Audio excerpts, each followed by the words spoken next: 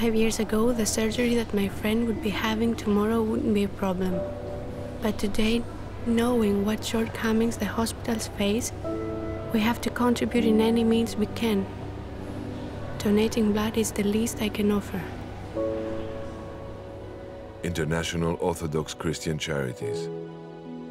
Help to support families in Greece.